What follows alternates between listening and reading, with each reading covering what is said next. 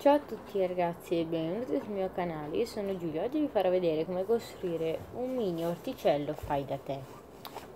Eh, L'idea è stata presa da un libro di Geronimo Stilton, possiamo chiamarlo in edizione limitata, che qualche anno fa alla Coop ogni tot euro di spesa davano questi libri eh, di Geronimo Stilton. Questo qua si chiama eh, Missione inventa la città, è un libro bellissimo e uh, quando era finito il libro c'era questa pagina. Scritto un orticello fai da te. Allora ho pensato che potevo fare questo video. Per fare questo mio orticello vi servirà un po' di terra eh, scusate le dimensioni poi dei semi un porta uova meglio se di cartone non avete la terra in alternativa potete usare del cotone e poi uno stecchino. Allora qua consiglio anche i colori acrilici per poter colorare il porta uova ma dato che me li sono dimenticato di sopra adesso sono in giardino non lo colorerò però poi col tempo lo colorerò. Innanzitutto eh, con questo stecchino andiamo a fare i puntini cioè dei piccoli fori sotto uh, i vari buchi. Cioè sotto i vari porta uovo. Non una grandezza esagerata così all'incirca.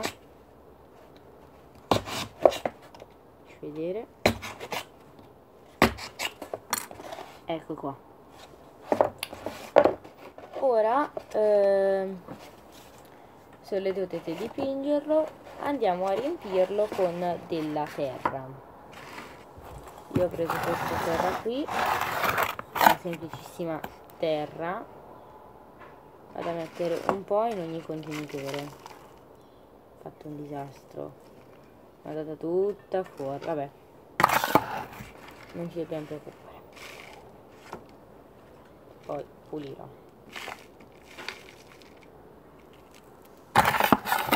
un danno dopo l'altro sto facendo. Vi consiglio di tenervi da parte un po' di terra perché dopo servirà.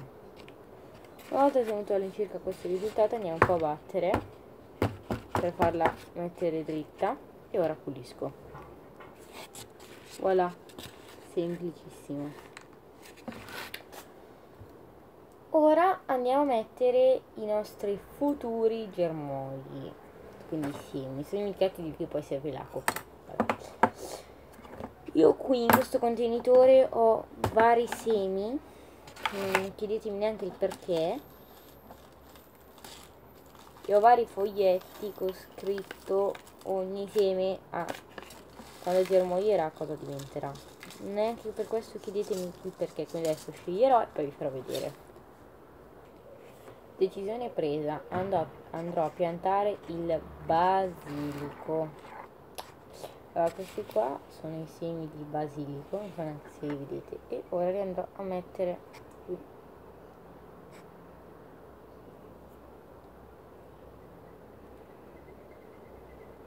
Qualche semino qui, qualche semino là.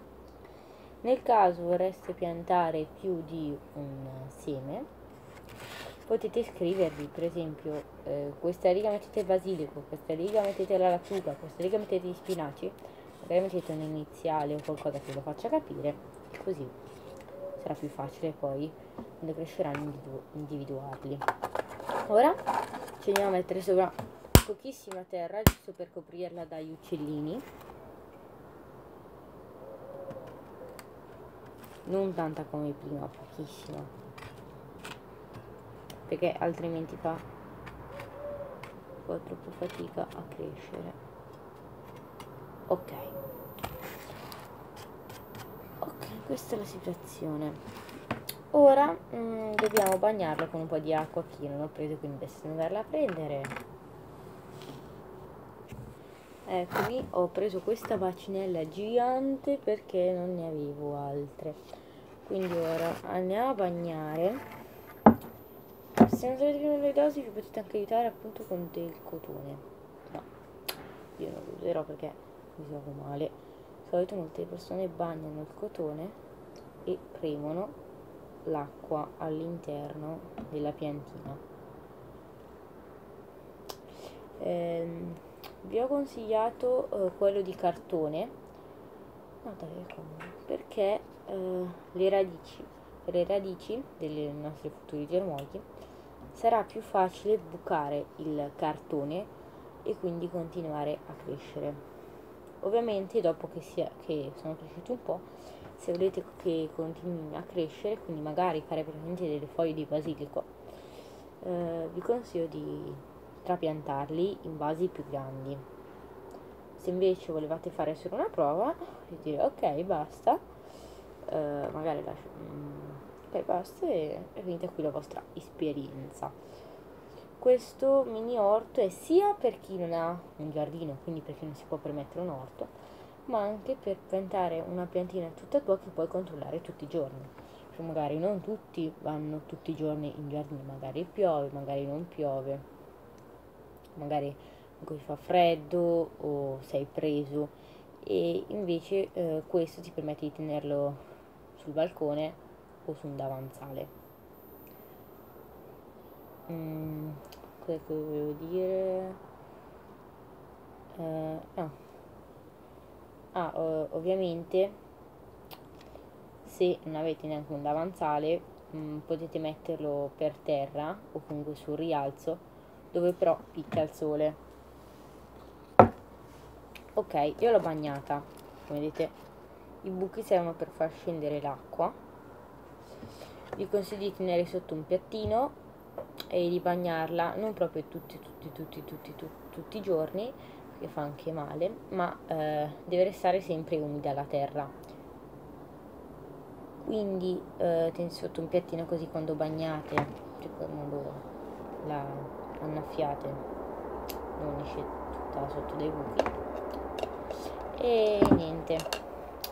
Quando poi eh, appena esce il primo germoglietto di solito va lasciata chiusa così.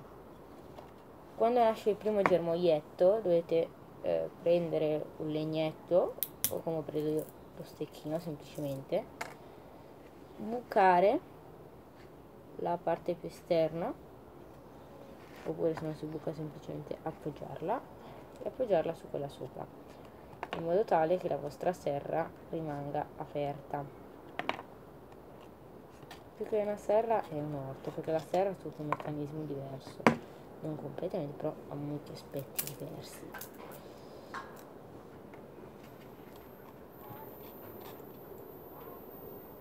Ok, quindi ragazzi se questo video vi è piaciuto mettete like, iscrivetevi al canale, attivate la campanellina per non perdervi le notifiche e noi ci vediamo domani con un nuovissimo video. Ciao!